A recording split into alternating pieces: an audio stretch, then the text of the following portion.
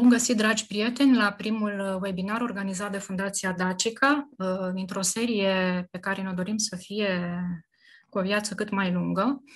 Iar um, subiectul acestei prime întâlniri, după cum a fost anunțat, este cetatea dacică Piatra Roșie. Am avut două motive pentru a alege acest subiect.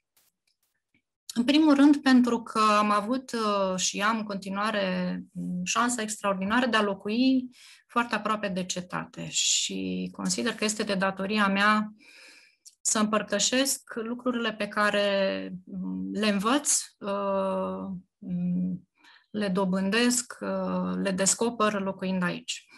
În al doilea rând, m-am gândit că mi este mai ușor să vorbesc despre Piatra Roșie decât despre un sit precum Sarmi Săgetuza, care necesită probabil un serial întreg, uh, pentru că este o cetate mică și puțin cercetată. Uh, și m-am gândit că va fi mai ușor să, să adun informația și să vă prezint. Uh, m-am înșelat într-o anumită măsură pentru că cu cât știm mai puține lucruri despre un sit, cu atât mai greu este să îi scriem povestea. În urmare, um, vor fi multe semne de întrebare la sfârșitul uh, acestei prezentări, multe um, mm, goluri în uh, povestea acestei cetăți, care sperăm să se umple pe viitor uh, um, când se vor relua cercetările și sperăm că asta să se întâmple cât mai curând.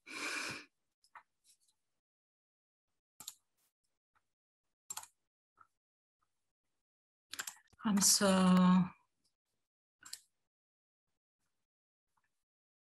încep uh, așadar prezentarea um, cu o mică precizare legată chiar de numele acestei cetăți, pe care probabil uh, voi ați mai întâlnit-o, ați întâlnit acest nume sub forma Luncan Piatra Roșie. În momentul în care uh, s-a început cercetarea acestei cetăți, pe la mijlocul secolului trecut, Într-adevăr, Piatra Roșie aparținea de satul Luncani. Între timp a avut loc o reorganizare administrativă, iar astăzi cetatea nu mai are legătură cu Luncani, se află pe teritoriul satului Alun, în comuna Boșorod, județul Hunedoara. Prin tradiție s-a mai păstrat numele Luncan Piatra Roșie. Eu prefer denumirea Alun Piatra Roșie, care deja a început să intre și în documentele oficiale, Uh, pentru că este uh, mai uh, de actualitate, răspunde realităților din momentul de față. Informațiile despre Piatra Roșie, cât au fost disponibile acum niște ani, le-am strâns într-un website, piatraroșie.ro, vedeți o captură de ecran Uh, însă, de când am făcut acest site, spuneam de vreo 10 ani, au mai apărut uh, o serie de informații. Uh, prin urmare, în prezentarea mea o să mă axez mai mult pe lucrurile noi, trecând așa mai sumar prin datele care deja sunt cunoscute pentru a vă face o idee, cei care încă nu aveți aceste informații mai vechi, dar pentru mai multe detalii puteți intra pe site-ul piatraroșie.ro și veți vedea fiecare dintre aspectele pe care le prezint eu cu mai multe informații și imagini. Unde se află Piatra Roșie? Cei mai mulți dintre dumneavoastră cu siguranță știu deja că Piatra Roșie este o cetate situată în apropierea Sarmisegetuzei Regia,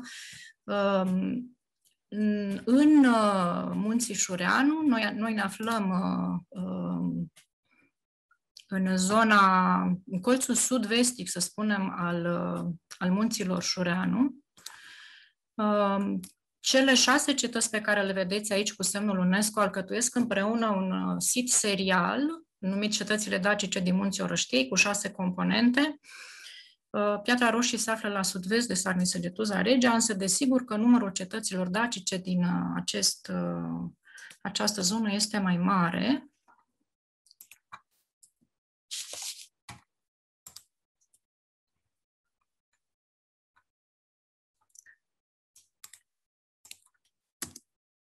Iată, aceste puncte galbene sunt uh, cetăți dacice situate în parajma capitalei regale Sarmisegetuza Regia. Um, ce aș putea să spun despre uh, cronologia acestei cetăți, doar lucrurile pe care deja le-au uh, spus alții înaintea mea, și anume că probabil a fost Um, construită, fondată cândva pe la mijlocul secolului I înainte de Hristos uh, și a fost cucerită la fel uh, cum s-a întâmplat cu toate celelalte în anul 106 pe Hristos. Am pus un semn de întrebare pentru că există și unele ipoteze uh, mai recente care susțin că cetatea Piatra Roșie ar fi chiar mai veche, poate din prima jumătate a secolului I, Uh, dacă nu chiar uh, cândva de pe la sfârșitul secolului al doilea înainte de Hristos. Însă, cum informațiile sunt puține, uh, nu putem trece peste acest semn de întrebare și nu putem da un, un răspuns sigur. Eu doar vă enunț care sunt ipotezele în acest moment. Această aglomerare de cetăți în jurul Sarmisegetuzei, regia a căpătat uh, două interpretări. Interpretarea cea mai veche, clasică, care uh, este cea mai persistentă, susține că toate aceste cetăți constituie um, niște centuri de apărare în jurul capitalei regale.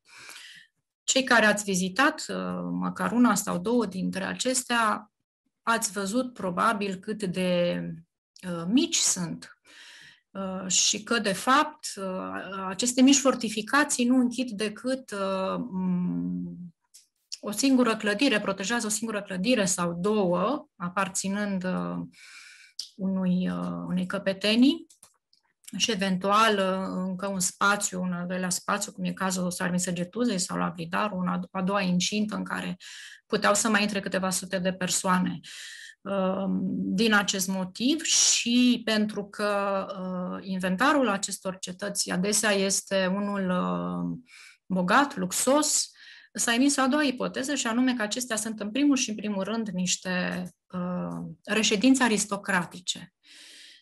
Iar rolul lor, în momentul în care au fost construite, fondate, nu a fost neapărat acela de a opri o mare invazie către capitală, ci de a adăposti Um, locuința unui uh, nobil uh, uh, dac um, din anturajul regelui.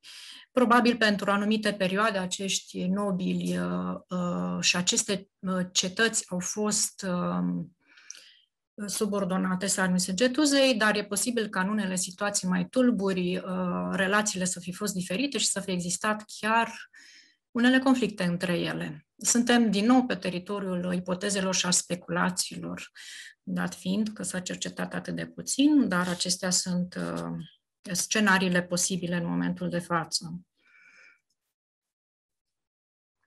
Cetatea se află pe dealul Piatra Roșie, care uh, are o formă uh, foarte particulară, după cum se vede, el are uh, partea superioară foarte bine îndreptată, antropizată și uh, s-a conservat, evident, până astăzi în acest mod uh, și a devenit un uh, reper vizual în, în timp. Iată o altă imagine uh, de la distanță mai mare, de pe vârful Godeanu, de la nord de Sarmisegetuza, cât de particulară și de, de clar, de uh, puncturată este forma acestui deal, cu platoul uh, bine îndreptat. Um, cei care ați vizitat Piatra Roșie sau știți unde se află, venind uh, pe drumul asfaltat dinspre, dinspre Luncani, uh, poate ați avut uh, impresia că este un loc uh, izolat și mm, rupt cumva de marile artere de comunicație. Eu cel puțin așa am avut impresia la, la început, când am venit primele dăți. Realitatea este un pic alta. Um, am pus ca repere pe lângă Piatra Roșie, Sarmisegetuza, Regea și Costeș Blidarul. Uh, lângă Blidarul, desigur, se află și Costeș Cetățuie și iată o parte doar din rețeaua de drumuri de creastă, de drumuri de plai folosite de daci. Și după cum puteți observa, Piatra Roșie se află foarte aproape de două intersecții mari de drumuri. Intersecția sau nodul de căi de la Poiana Omului și cel de la Prihodiște. De la Piatra Roșie se ajunge relativ ușor la Blidaru, prin, uh, uh, plecând de pe Valea uh, Alunului, pe piciorul Alunului în Prihodiște, spre Târsa și apoi direct la cetate. Tot de la Prihodiște se poate coborâ în Valea Grădiștii și de aici la Sarmisegetuza Regia, iar uh, de la Poiana Omului, unde se ajunge ușor de la Piatra Roșie, uh, se accesează marele drum de plai de la sud de Sarmisegetuza, principala rută comercială din, uh, din Munții Șureanu, rută comercială antică. Aceste drumuri de plai au fost folosite multă vreme de oier, de cioban, mai sunt folosite și astăzi într-o mai mică măsură. Ele însă sunt, uh, ele sunt puțin uh, cercetate, din păcate, dar sunt uh, presărate, să zic așa, și cu așezări de înălțime și cu unele fortificații de epocă dacică. Deci o întreagă um, rețea foarte bine pusă la punct de comunicație. Ce voiam să subliniez este că Piatra Roșie se află într-un punct foarte bine ales, aproape de aceste uh, noduri de comunicație și uh, impresia noastră de astăzi uh, trebuie puțin uh, modificată. Iată uh, platoul cetății, Valea Alunului și uh, dealul Prihodiște, vârful Prihodiște și Târsa, pe aici se ajunge spre Sarmisegetuza, în direcția asta către uh, Blidaru, iar pe șaua cetății, la est, se ajunge spre Poiana Omului și spre Marele Drum uh, comercial.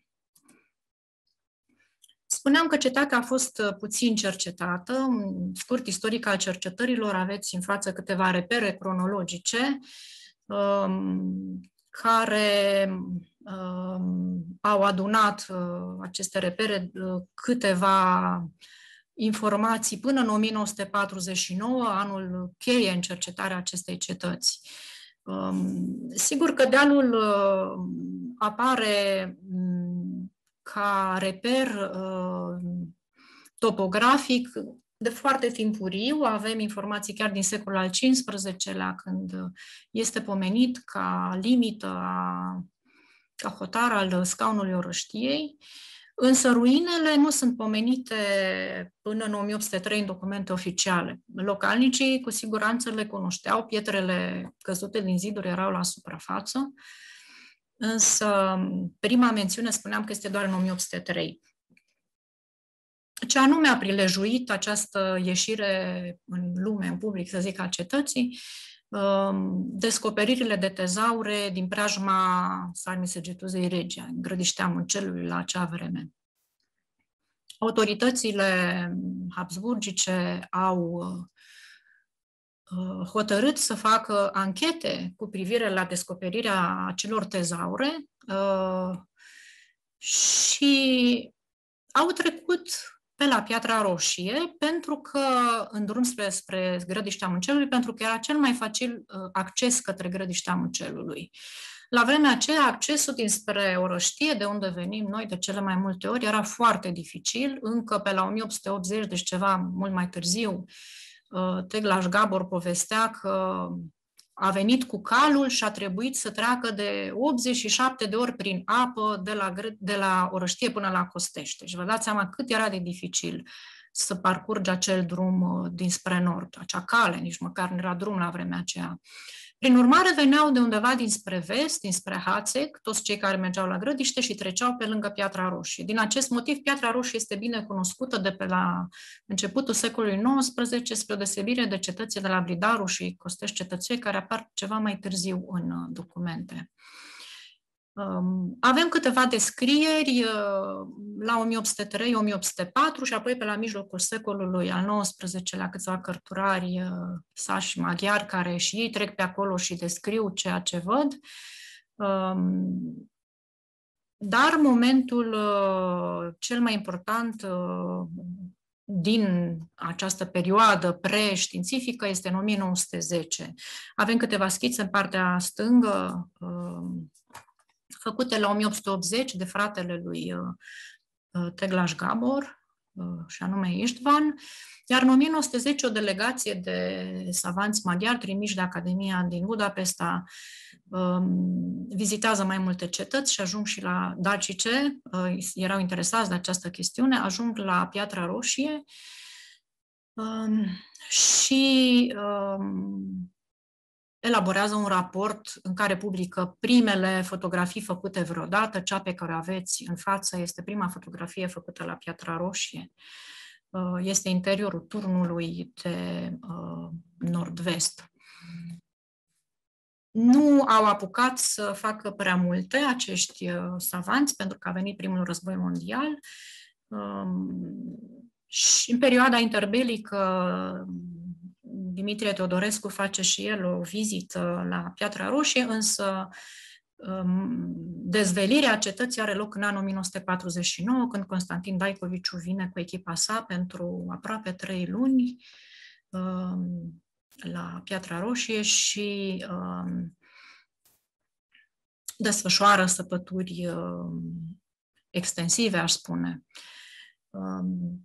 Rezultatul este o monografie publicată cinci ani mai târziu, uh, după care uh, urmează o perioadă de mm, liniște, pentru că pentru exigențele acelor vremi se considera că cercetarea a fost în mare măsură epuizată.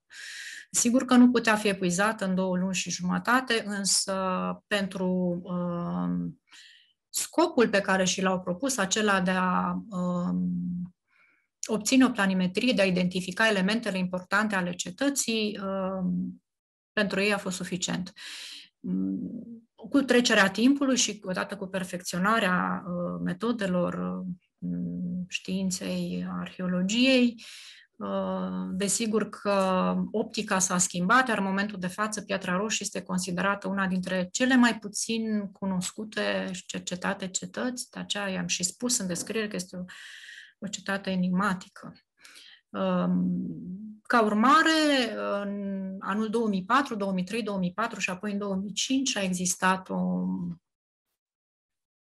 um, intenția de a se relua cercetările în cetate, s-au și reluat. Din păcate s-a publicat doar un scurt raport în 2004, iar în anul următor um, proiectul a fost um, abandonat.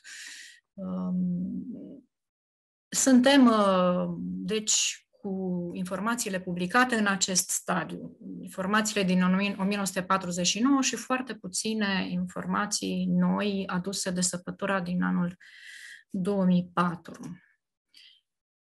Ce au găsit arheologii în 1949 în cetate. La vremea respectivă, spunea Constantin Daipoviciu, nu se vedeau zidurile, nu erau la suprafață, totul era acoperit de vegetație, însă sigur că localnicii sau locuitorii din, din satele din apropiere răscoliseră ruinele, pentru că dacă ieșise aur la Sarmisegetuza, era uh, plauzibil pentru ei să se găsească ceva comori și la Piatra Roșie.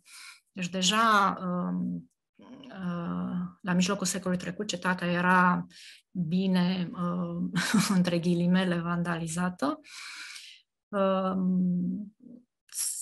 S-au identificat uh, două incinte ca elemente principale ale cetății, o incintă pe platou, rectangulară, cu turnuri la cele patru colțuri, spune Constantin Daicoviciu, un colț uh, a fost uh, găsit uh, surpat, deci turnul de aici este doar presupus, și un al cincelea turn pe latura estică, cea mai expusă către dușman. Platoul este mai mare, incinta ocupă doar două treimi din platou, Iar în afara incintei se găsesc două clădiri cu destinație încă nelămurită și a existat un templu cu coloane care a fost, se pare, desfințat chiar de daci, pentru că uh, construcția care se află în dreptul uh, acestui templu, fost templu, trece peste uh, plintele templului. Ce avem în interiorul fortificației, cum spuneam și înainte, o singură clădire, uh, nu foarte impunătoare ca arhitectură, ca dimensiuni, da, uh, o clădire din lemn care avea o uh, temelie din piatră, doar două încăperi și un mare pridvor uh, în formă uh, de absidă, de potcoavă. Existau și uh, niște turnuri izolate, turnurile A, B, C și D, notate de Constantin Daicoviciu, uh, cu dimensiuni destul de mari. Uh, latura la exterior avea 10 mm, metri și jumătate Um, asemănătoare cu cele de la Costești Cetățuie, cu cele de la Tilișca și cu alte turnuri din zona uh, Blidaru, cu baze din blocuri de calcar, de carieră și cu suprastructura din cărămizi uh, uscate la soare, slab arse și acoperite aceste turnuri cu țigle. Turnurile uh, spune Constantin Daicoviciu, ar aparține unei prime faze a cetății uh, și ar fi contemporane cu fortificația de pe platou. Într-o a doua fază uh, s-ar fi construit această mare incintă cu val de pământ, care ar fi înglobat și două dintre turnuri.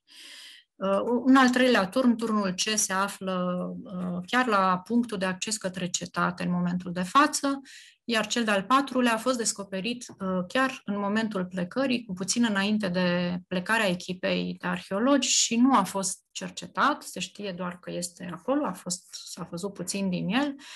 Uh, este o șansă pentru cei care vor săpa în viitor să dezvelească acest turn cu metodele actuale. Nu se poate vedea mare lucru din aceste patru turnuri, pentru că fiind uh, trei, să zicem că al patrulea este nedezvelit, fiind aproape de potecă, um, localnicii au um, demontat uh, zidurile și au folosit blocurile la în gospodările lor. Uh, asta s-a întâmplat peste tot unde au existat în apropiere Uh, așezări în apropierea siturilor. Uh, știți foarte bine ce s-a întâmplat și la Ulpia Traiana și în alte părți. Uh, oamenii nu știau la vremea respectivă, nu li s-a spus, deci nu avem de ce să ne supărăm acum pe ei. Ține tot de istoria acestui loc. Un element foarte spectaculos al acestei cetăți este drumul pe care îl vedeți marcat aici, o să vorbim imediat despre el, un, o scară, de fapt, nu este drum, pentru că panta e destul de accentuată, o scară monumentală care duce uh, spre intrarea în fortificația de pe platou, care se face prin acest turn. Din această scară uh, se ramifică o alee care duce la o clădire foarte importantă și despre ea vom vorbi imediat. Uh, Cam acestea sunt elementele cele mai importante ale uh, de dezvelite în 1949. Uh, vedeți că mai sunt notate câteva terase, terasa 1, 2, 3, ele de fapt sunt dispuse puțin altfel, vom vedea imediat.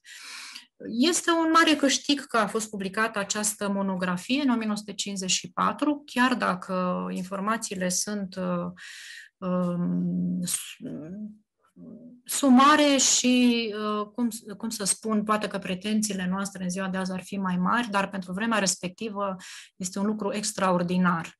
Um, în uh, urma mm, informațiilor publicate la, în, în uh, monografie a fost făcută o, o schiță de reconstituire virtuală de către arhitectul Dinu Antonescu în 1984. Există mai multe reconstituiri virtuale. Eu le-am ales doar pe acestea două, cea a lui Antonescu și în partea de jos uh, cea realizată de Mihai Stancu de la România de Vis, pentru că uh, în opinia mea, doar acestea respectă uh, datele de pe teren și vom vedea imediat uh, ce înseamnă asta. puteți să vă imaginați um, această mică incintă de pe platou cu turnurile, zidurile și turnurile din piatră um, și cea de-a doua incintă de pe versantul estic cu val de pământ și palisadă, plus turnurile mari de care uh, pomeneam anterior. Um, Cercetările s-au oprit în 2004, cercetările de teren, însă informațiile au continuat să se adune pe căi mai mult sau mai puțin fericite.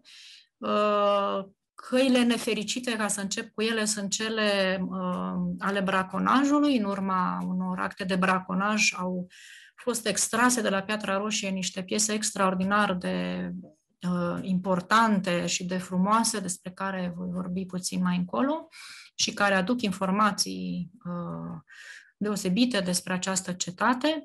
În 2012, um, Fundația Dacica a realizat o măsurătoare topografică, niște măsurători în cetate, um, și în felul ăsta am depășit cumva fa- faza acelei schițe din 1949 făcută de Constantin Daikoviciu, care el însuși spunea că este nevoie de neapărat de o măsurătoare topografică, dar iată că ea a așteptat mai mult de o jumătate de secol.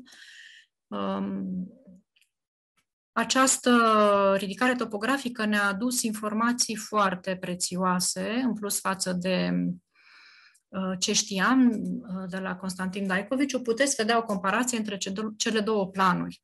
Și o să vă spun pe scurt uh, care sunt cele două sau trei elemente foarte importante pe care le-a scos la iveală această măsurătoare. În primul rând, fortificația de pe platou nu este un patrulater așa frumos cum părea în urma săpăturilor, Um, colțul um, sud-vestic al platoului nu există, el fie s-a surpat la un moment dat, fie nu a existat de la început, uh, nu avem cum să știm asta decât uh, când se vor relua cercetările acolo. Latura vestică, după cum vedeți, ea avea un uh, decroș, spune Daicovici, o cotitu, făcea o cotitură la un moment dat, Uh, al cărei rost uh, arheologii nu l-au înțeles. Iată că ridicarea topografică ne uh, ajută să înțelegem de ce a fost nevoie de acea cotitură. A fost nevoie pentru ca zidul să capete o direcție oblică și să evite acea zonă surpată. Um, nu știm până unde merge această latură vestică. Um, Vom discuta mm, mai în detaliu, puțin mai încolo. Cert este că uh, situația este mult mai complicată decât pare din planul din 1949.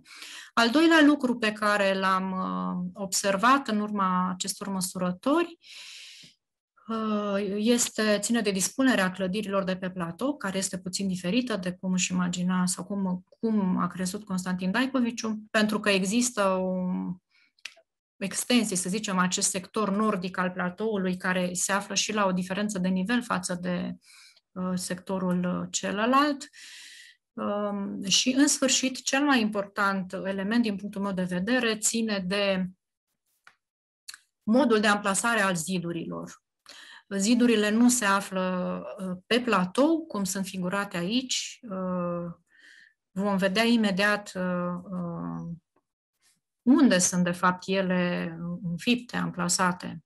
Și desigur, terasele sunt uh, oarecum altfel dispuse decât sunt uh, figurate pe planul lui Constantin Daicoviciu.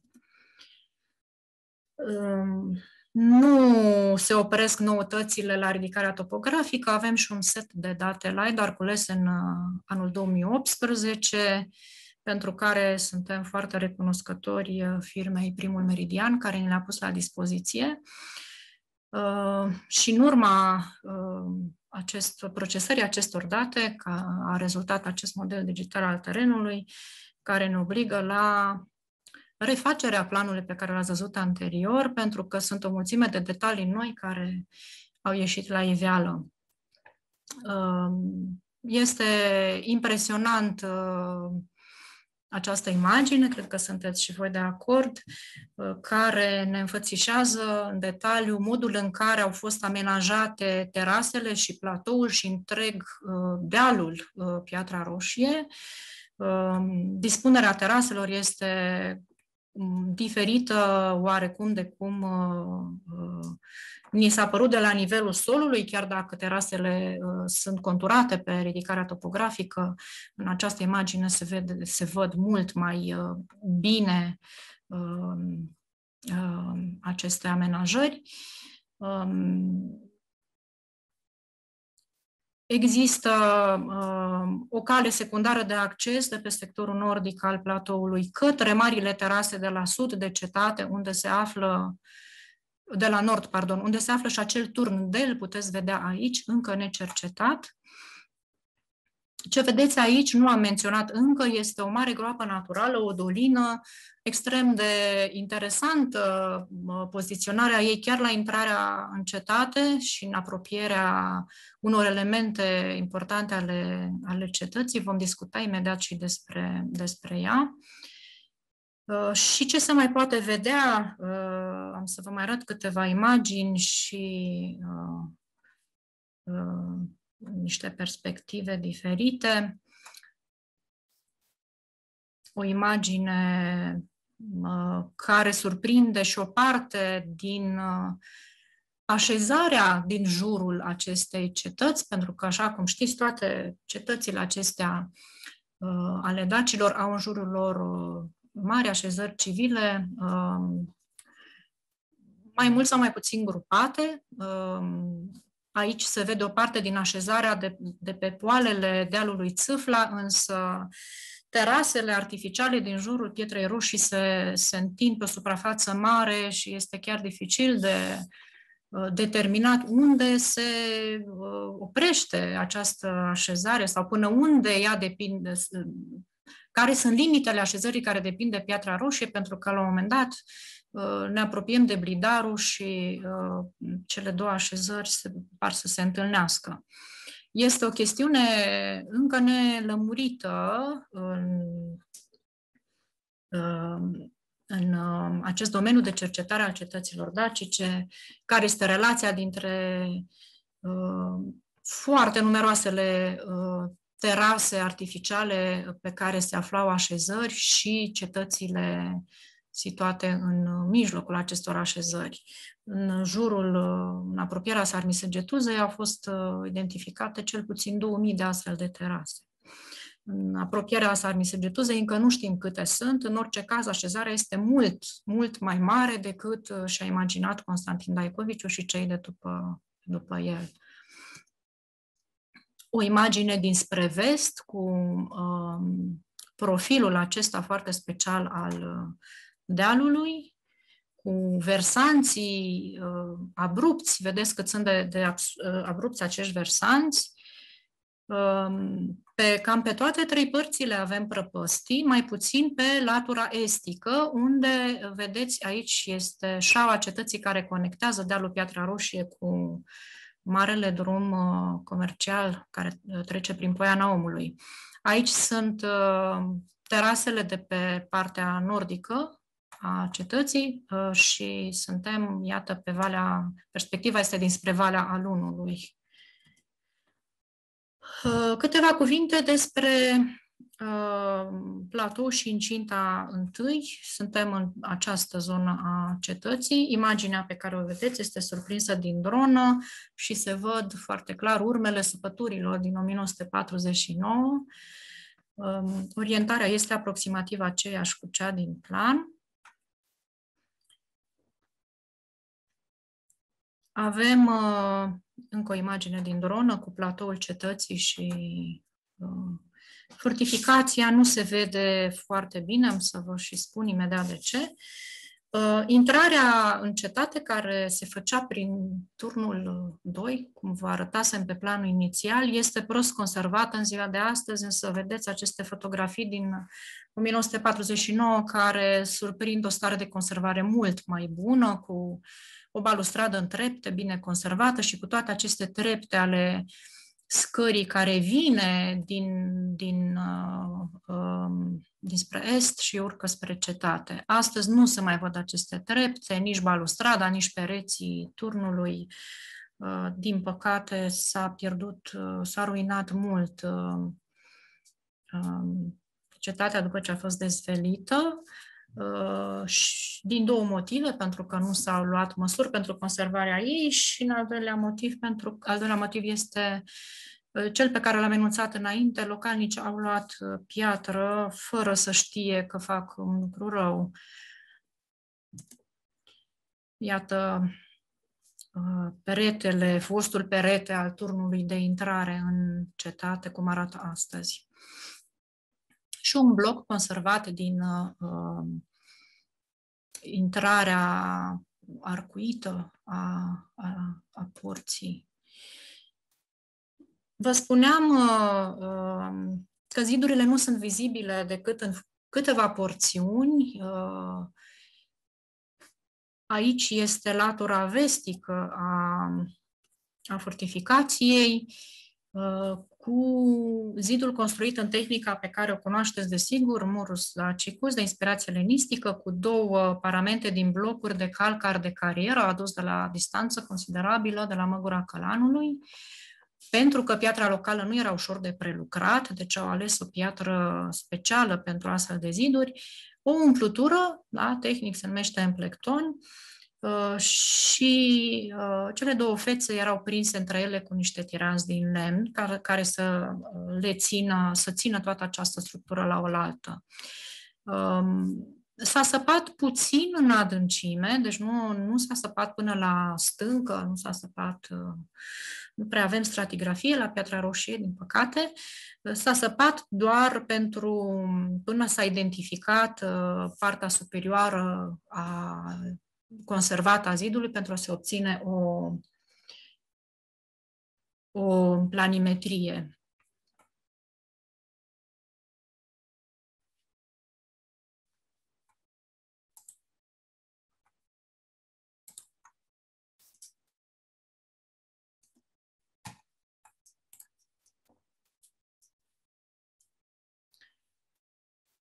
Iată partea cea mai bine conservată, dacă o pot numi așa, a laturii de vest, cu doar două rânduri de blocuri, două asize. Colțul, uh, unul dintre, sau singurul colț păstrat, este colțul de nord-vest, cu un decor specific uh, pe care îl întâlnim, uh, de inspirație linistică, cum spuneam, cu copacii crescuți deasupra, pentru că nu s-au făcut niciodată lucrări de conservare la Piatra Roșie, așa cum s-au făcut la San Miseletuza sau în alte părți. Latura estică, una dintre fețele, da, paramentul interior al zidului, pe care nu o să-l vedeți pentru că este acoperit de vegetație, eu l-am uh, măturat puțin la un moment dat, acum mulți 10-12 ani, ca să-l văd cu copacii crescuți deasupra. Uh, și ajungem acum la mm, acel element important de care vă spuneam că ni, ni l-a uh, uh, relevat uh, ridicarea topografică, și anume că zidurile uh, nu se află situate pe platou. Iată, aici este nivelul platoului, ci uh, ele sunt, au talpa la circa 3 metri mai jos de platou și fapt care ne arată că ele erau în primul rând ziduri de susținere a platoului. Nu știm cât se ridicau deasupra platoului, Uh, în orice caz, avem cel puțin 3 metri pe latura de est, 3 uh, metri și ceva, pe latura de vest uh, poate puțin, mai puțin, dar tot în jur de 3 metri. Um, iar acest lucru a fost sesizat de către arhitectul Dinu Antonescu. Ce vedeți aici este o reconstituire a lui Constantin Daicoviciu care plasează acest zid estic pe platou, Uh, Antonescu explică că el se afla mult mai jos decât platoul um, și că avea probabil un parapet uh, deasupra nivelului de călcare, iar ce vedeți în partea de jos este o reconstituire virtuală aparținând uh, aceluiași Mihai Stancu de la România de Vis, care face o treabă extraordinară documentându-se și încercând să fac aceste reconstituiri să ne ajute să vizualizăm uh, cum arătau aceste cetăți, puteți vedea foarte bine, zidul era unul de susținere a platoului, în primul și în primul rând, și poate avea, adică cu siguranță mai avea și un, un parapet sau un, un palisadă sau nu știm ce putea să aibă la suprafață. Din acest motiv nu vedeți zidul când ajungeți pe platou, pentru că nu aveți ce vedea îl vedeți mai jos de platou și îl vedeți doar uh, cu un singur rând de blocuri sau maxim două. Uh, nu știm cât se adâncește, probabil că nu foarte mult uh, în pământ, în uh, nivelul actual al solului. Cercetările viitoare ne vor lămuri și în privința acestui lucru. Uh, dacă cele două laturi lungi, de est și de vest, erau ziduri de susținere a platoului, întrebarea care se ridică este ce făceau laturile scurte, care cu siguranță erau pe platou, latura sudică și cea nordică. Situația este uh, teribil de încurcată, așa cum vedeți, latura sudică se termină brusc.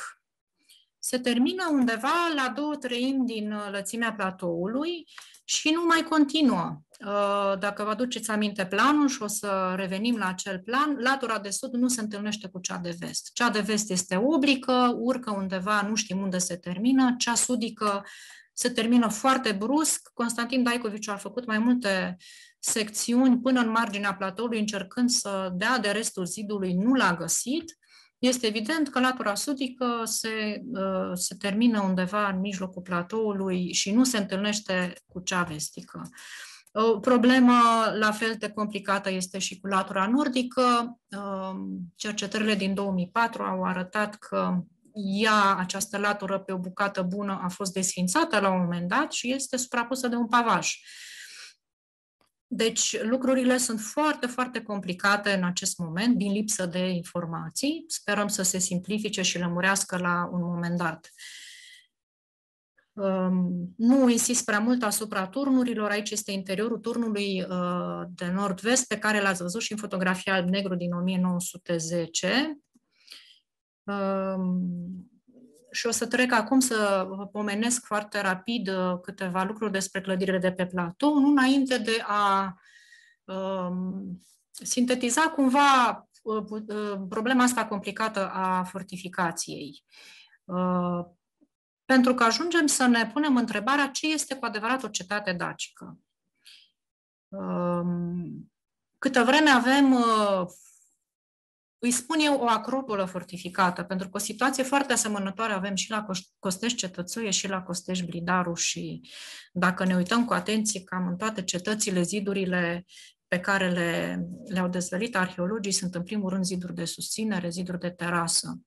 Uh, nu sunt niște uh, ziduri de oraș sau cum ați văzut în alte părți, în interiorul cărora se adăpostește populație sau în interiorul cărora se întâmplă lucruri.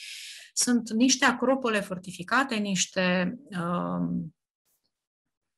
uh, nuclee, cum să le spun, reședințe aristocratice dispuse Uh, piramidal, în jurul cărora uh, se află așezarea și probabil că cei apropiați sau importanți uh, se aflau mai aproape de vârf și pe măsură ce ne depărtăm de acest nucleu, de acest centru, îi găsim pe cei mai puțin importanți locuitorii de rând.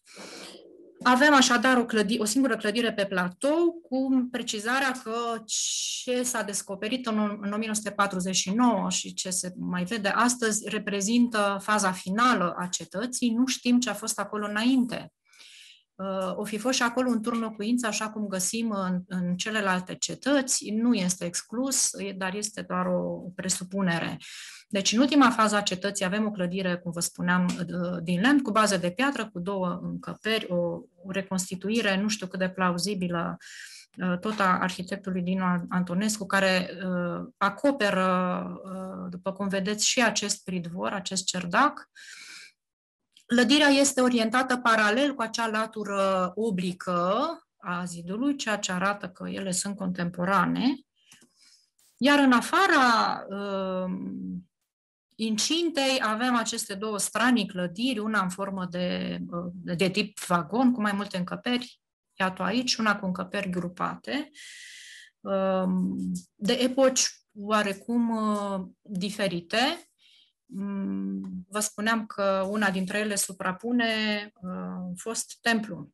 Din acel templu avem câteva plinte păstrate chiar la fața locului, nu, nu mai sunt foarte vizibile și ce vedeți aici este o plintă refolosită cu o urmă de un șanț pentru um, un tirant, care acum, această plintă se află căzută pe, pe versantul vestic al dealului. Deci, cu siguranță, acel templu și-a încheiat activitatea în timpul uh, locuirii cetății și, din motive pe care nu le cunoaștem, a fost desfințat. Ce avem în incinta a doua? Avem, în primul rând, aceste mari terase uh, pe care, pe partea sudică, pe care le vedeți, nu? Am greșit. Sunt pe partea, da, pe partea sudică. Vedeți aici în fotografie surprinse două dintre ele. Uh, sunt câteva și pe partea cealaltă, mai mici. Despre turnurile acestea foste izolate, înglobate în fortificație, am vorbit deja. Și avem un element foarte interesant. La intrarea în această incintă a doua, un, zid cu mortar identificat pe o parte, dar se vede și pe partea cealaltă a intrării. Îl vedeți în cele două fotografii de mai jos, care a suscitat discuții de-a lungul timpului, pentru că s-a considerat că dacii nu cunoșteau mortarul și că acest zid trebuie să fi fost de ev mediu, uh, ipoteză susținută și de uh, descoperirea unor fragmente ceramice uh, de secolul XI. Și s-a emis ipoteza că cetatea a fost refolosită în mediul timpuriu și că aceste intervenții sunt din acea epocă. Um, nu cred că problema este lămurită, pentru că mortar s-a descoperit și în alte situri dacice. Știți cu siguranță că la Blidaru există o cisternă construită cu uh, straturi de mortar hidrofug, după cunoștințe din uh, lumea greco-romană, iar uh, foarte recent o surpriză mare a produs cercetările din cetatea de la Arde, unde se pare că de asemenea a fost folosit mortarul. Deci rămâne sub semnul întrebării dacă acest zid este de epocă medievală sau nu. Însă uh, nu trebuie exclusă, ci din contră merită investigată pe viitor și ipoteza uh, refolosirii cetății într-o epocă mai târzie. Lucru arătat, după cum vă spuneam, de câteva piese care au fost găsite în, în sit. Iată și scara monumentală de care vă spuneam și care este cea mai frumoasă, să-i spun așa, sau cel mai bine conservată din întreaga lume dacică, avem uh, sau am avut și la Sarmisegetuza Regia o scară monumentală care a fost, uh, din păcate, um, restaurată prost în 1980 și transformată în drum pavat, adică s-au eliminat uh, treptele acelea ascunde și lespezile au fost puse într-un singur plan. La Piatra Roșie avem încă treptele originale, însă, după cum vedeți, starea de conservare uh, este din ce în ce mai proastă, se degradează, bănuiesc că în 1949 scara arăta mult mai bine, ea fiind pe marginea uh, dolinei, alunecă, la fiecare ploaie se mai uh, dislocă câte puțin din ea. Cu adevărat impresionant această lucrare inginerească, sau cum să-i spun, Um, care este, după spusele localnicilor, conservată doar parțial, adică acum niște decenii, scara era mult mai lungă. A fost și ea, uh, s-a distrus, a fost demontată, nu știm ce s-a întâmplat, uh, dar eu zic să ne bucurăm că e și atât cât mai e păstrată. Iată câteva imagini de la nivelul solului. Uh, scara este foarte bine um, realizată cu blocuri înfipte în panta dealului, uh, așa se și explică de ce încă o mai vedem. Dacă erau niște simple lespe spuse la suprafață, le spăla apa de mult. Din uh, scara de piatră se, des, se desprinde o alee pavată, pe care o vedeți aici, binișor conservată, care duce la clădirea cu absidă de care v-am pomenit înainte. Iată scara de piatră, aici se află intrarea în cetate, se afla intrarea în cetate, pe aici uh, duce alea pavată către clădirea cu absidă și ce avem aici este cea mare groapă naturală situată, după cum vedeți, în fața intrării în cetate. Că nu știm exact care era uh, destinația, rolul ei, însă în interiorul ei, în timpul săpăturilor din 1949, au fost găsite niște piese foarte valoroase. Clădirea cu absidă o vedeți uh, parțial conservată, partea absidată aici. Ea are două încăperi, are și o încăpere rectangulară, pe lângă cea în formă de potcoavă. Planul se află aici, o reconstituire propusă tot de arhitectul Dinu Antonescu. Dinu Antonescu. De ce este importantă această clădire? Um, în primul rând, uh, datorită poziției sale, imediat sub platou și datorită acestei alei uh, frumoase care duce la ea, și în al doilea rând, și lucru și mai important, datorită unor piese Uh, sau unei piese fragmentare care a fost descoperită undeva în zona asta în 1949, foarte aproape de peretele uh, fostul perete din lemn. Clădirea a avut un perete, uh, pereți din lemn, a fost incendiată la un moment dat. Ce s-a găsit aici? S-au găsit niște fragmente uh, dintr-un, uh, dintr-o piesă uh, de fier uh, pe care o vedeți aici reconstituită. S-a presupus la acea vreme că este un scut uh, de formă ovală. Uh, cercetările mai recente au demonstrat că piesele sau fragmentele din această reconstituire provin din două piese distincte. Uh, și mă întorc la ce vă spuneam la început, la informațiile pe care ni le-a adus descoperirile făcute prin braconaj, um, și anume aproape, foarte aproape de această clădire, uh, braconierii au uh, găsit un pachet cu discuri, uh, unele întregi, din aceleași categorie cu cele găsite fragmentar în 1949. S-au demonstrat a fi rotunde, ele au 12 găuri de prindere, nu este foarte sigur că sunt uh, scuturi sau umbo de scuturi de paradă, cum s-a tot susținut, ele pot, se poate să fie avut și alt rol. După cum se vede, în centru au uh, diferite reprezentări zoomorfe, uh, există și o reprezentare reprezentarea unui leu pe unul dintre discuri. Statul român a reușit să recupereze aceste două discuri. În 2011 le au diametru de 40-42 de centimetri. Uh, altele, cele două din imagine, se află în uh, urmărire, date în urmărire prin Interpol. Trebuie să vă imaginați că în antichitate le arătau mult mai bine decât acum. Ele aveau o peliculă um, aurie în centru și una argintie pe um, registrul exterior, uh, obținute prin uh, alămire, respectiv prin stanare. Deci trebuie să fi fost uh, minunate aceste piese a căror funcționalitate încă nu este foarte uh, lămurită. Um, ce avem aici? Avem o mostră de artă dacică. Uh, vedeți și câteva detalii din această lucrătură, deloc ușoară, adică piesele au fost realizate prin batere la cald și apoi uh, pe, pe spate Uh, și apoi pe partea superioară s-a intervenit cu detalii. Um,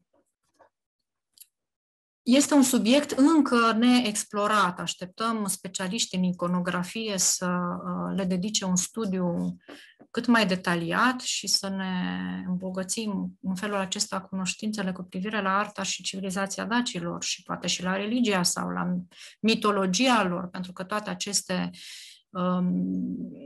reprezentări zoomorfe și uh, vegetale cu siguranță fac trimitere la un univers um, um, al dacilor de credințe și de așa, un univers spiritual. Um, două vorbe despre celebra Bendis de la Piatra Roșie, o mască de bronz uh, micuță de 14 cm, găsită într-unul dintre turnurile acelea izolate de care vă spuneam, o piesă surprinzătoare pentru că reprezentările antropomorfe în zona cetăților dacice din această um, regiune sunt extrem de rare. Um, s-a admis convențional că este o reprezentare a zeiței Bendis. Nu știm cine este această doamnă frumos coafată, cu părul prins, după cum vedeți. Și o să închei cu câteva imagini, așa, la cererea publicului, uh, din uh, flora și fauna zonei, pentru că Piatra Roșie este un mic paradis. Chiar dacă dacii au tăiat uh, mare parte a pădurii pe care noi astăzi o vedem pentru a-și amplasa locuințele și pentru a avea, desigur, vizibilitate. Uh, totuși, flora nu era mult diferită de ceea ce vedem noi astăzi. La Piatra Rușie se găsesc o mulțime de plante rare, inclusiv la leaua pestriță, um, crinul sălbatic, orhidee de tot felul și plante magice, de la iarba fiarelor la mătrăgună, spâns și avromeasă și multe, multe altele. Um, eu v-am ilustrat aici câteva dintre, dintre ele, pentru că um, povestea cetății nu se rezumă doar la descriere de ziduri și piese, ci și întregul uh, ambient, habitat al dacilor, uh, contribuie, trebuie să contribuie la această poveste. Am depășit puțin timpul pe care mi l-am propus. Uh, iată vipera cu corn, care este păzitoarea cetății, deci să aveți grijă când veniți în vizită cum vă echipați. Uh, au început uh, să vină deja întrebările, le voi lua imediat, nu înainte de a încheia înregistrarea.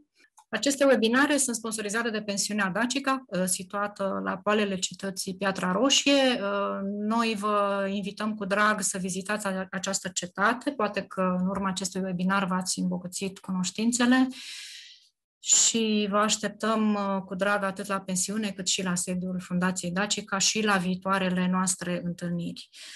Eu vă mulțumesc că ați avut atât de multă răbdare. Pe curând!